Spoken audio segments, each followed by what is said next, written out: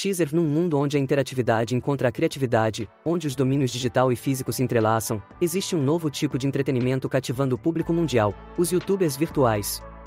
Hoje, vamos desvendar as camadas desse universo fascinante e mergulhar no coração de seu grupo mais ilustre, o Hololive.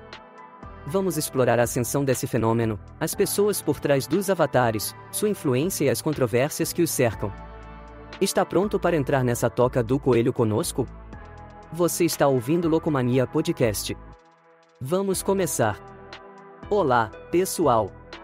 Aqui é o seu anfitrião, Moon Clark. Lembro-me do dia em que me deparei com meu primeiro youtuber virtual. Era intrigante, desconcertante e estranhamente cativante ao mesmo tempo. Me vi caindo numa toca do coelho e desde então continuo caindo. E hoje, tenho o prazer de apresentar nosso convidado especial, Pereira, um especialista que navegou por essa toca do coelho por anos. Seja bem-vindo ao programa, Pereira. Obrigado, Monclark. Estou animado para estar aqui e discutir o intrigante mundo dos youtubers virtuais com você e seu público.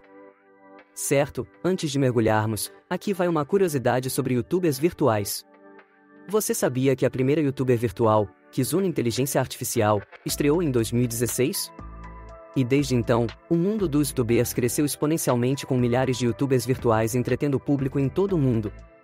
Esse é um crescimento incrível. Pereira, você pode nos explicar como o Hololive, um popular grupo de youtubers virtuais, conseguiu atrair indivíduos tão criativos?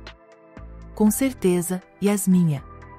À medida que o Hololive continua crescendo, atrai cada vez mais pessoas ridiculamente criativas, como a Kaya Ato, também conhecida como a Chama. Ela foi a primeira youtuber virtual a atrair muitos fãs para o Hololive. Falando em A Chama, ela está atualmente em uma pausa indefinida por motivos de saúde. Como isso afetou sua base de fãs? Apesar de sua ausência, seus fãs continuam a apoiá-la. Eles escrevem sobre ela, discutindo porque ela ainda é uma favorita de todos os tempos. É tocante ver como os youtubers virtuais podem impactar a vida das pessoas e criar conexões tão profundas. Desculpe, mas o que exatamente é um youtuber virtual? Boa pergunta, Cristina. Um youtuber virtual é um indivíduo que usa um avatar digital enquanto transmite em plataformas como o YouTube. Eles interagem com seus fãs ao vivo, assim como qualquer outro youtuber, mas fazem isso através de um personagem de anime. É como ver seu personagem de anime favorito ganhar vida. E só para complementar, os youtubers virtuais, como os lutadores de wrestling profissional, recebem feedback imediato de suas transmissões ao vivo.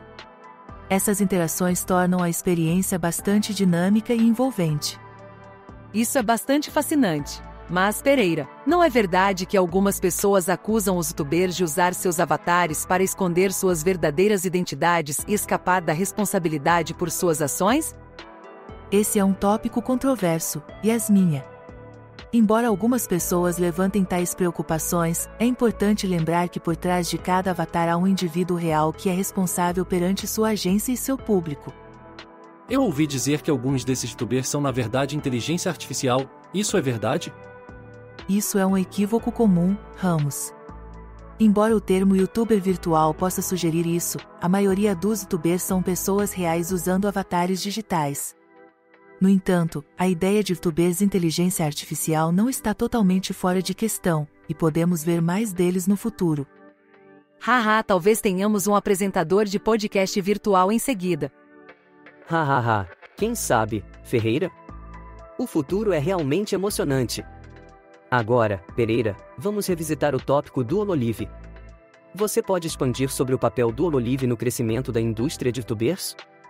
Claro, Monclark.